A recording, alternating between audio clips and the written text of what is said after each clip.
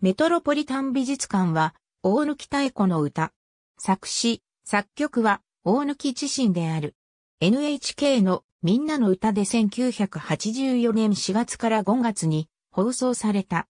アメリカ合衆国の児童、文学作家イエル・カニグズバーグのクローデアの秘密に着想を得て作られたと言われる。実際に天使の像や古代エジプトのミイラを収めた石棺など、いくつのモチーフがこの曲の歌詞に登場している。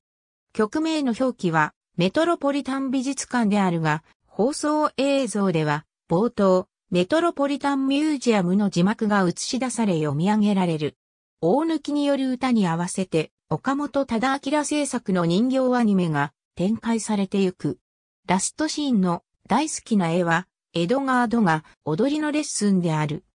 本曲はみんなの歌の放送楽曲の中でもとりわけ人気があり、初回放送から8ヶ月後の1984年12月から1985年1月の再放送を皮切りに定期的に再放送されている。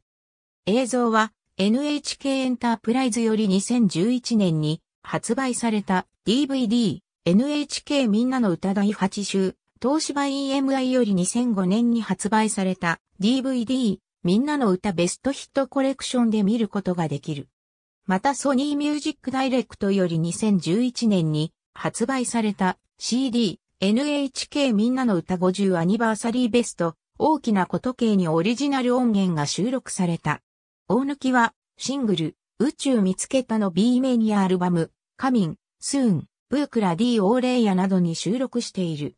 他、井上美子、新倉義美、久子、荒井明野、吉田道子、沢、白坂小梅等多くの歌手による録音がある。マークはラジオのみでの再放送、みんなの歌関連その他。ありがとうございます。